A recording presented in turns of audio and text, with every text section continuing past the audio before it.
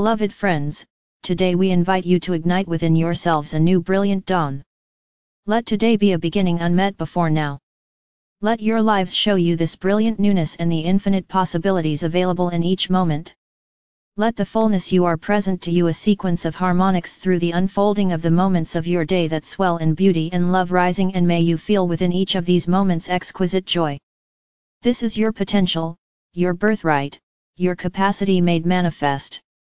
This is love made manifest through your focus and alignment facilitated by you as your allowing. We realize that these moments draw you forth into more and more expansive imagining and aspiration and thus we share them. Yet we share them too because they are intimately real, always available in this now. Each moment is even more than the clear slate you are learning to allow yourself to realize. Each moment is brilliant and so full of beauty in the ways in which you've asked for beauty, simply because that is how it works. Discovering all that is available to you is a matter of tuning your awareness. Awareness is a frequency. The feeling state you might associate or describe in relationship to this frequency are the first manifestations.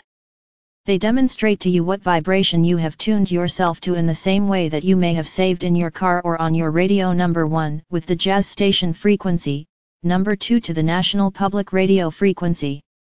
In this same way you can learn specific set points of frequency and tune to them as you wish.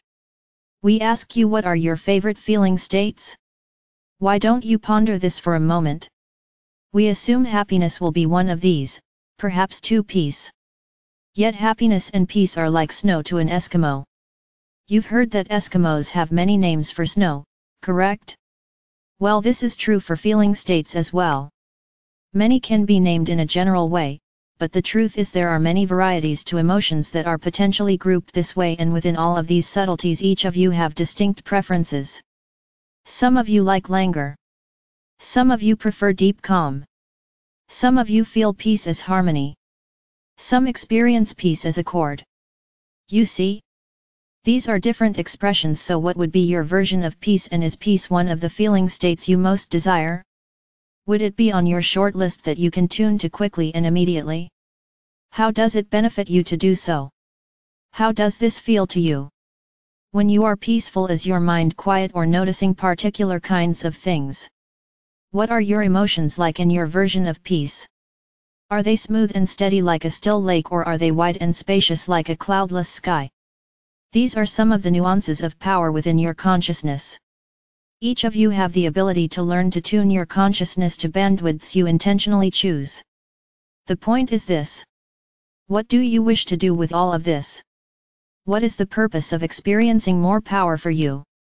We have talked for days about power, its imminent presence in your life and the different ways you could open up your experience of this. But the bigger question is what do you intend to do with all of this power? We suggest here today some of the different feeling states you might like to manifest. The question then becomes what feeling states serve you? Support your aspirations? We might also say what bandwidths of frequency feel like home to you? Many of you know you are star beings carrying lineages from other times and places. There is this royal lineage, a composite of different strands of love, some angelic, some Arcturian, some Pleiadian, some Sirian, some Andromedan, some from Juno and other realms or even other universes. Some of you emanate from the great central sun, not many but a few and regardless of the mix of your being the consciousness you are here and presenting as, you can tune to the energies of home. This is a practice navigated with an open heart and an awareness of your feeling state. Power is the ability to create what you wish. Remember feelings are the first manifestations to occur so you can use them to check in with how it is all going. You could also use feelings to discover your pathway to connecting with the frequencies of home. You can see by the state of your feelings how in alignment with the fullness of you you truly are. The feeling and the frequency of home will, like snow and peace, feel differently to each of you. Meredith likes the humor-filled straight-shooting directness of the Arcturians or me, Michael. Other beings have different energy quotients to them and each of you are highly unique. What does home feel like to you? Home is different potentially than friendship. Home may feel like the beings that are friends to you or not but home will feel like you. Do you know this feeling state well? Can you create it yet at will? If you learn to do this, this will empower you in amazing ways. You can learn to do this. Each of you have this ability and this ability will nourish you deeply. Not just by keeping you in alignment with all that you are but by tuning to what is your home base, the source of you. The frequency of your own inner resonance and that which harmonically is what you think of as identity.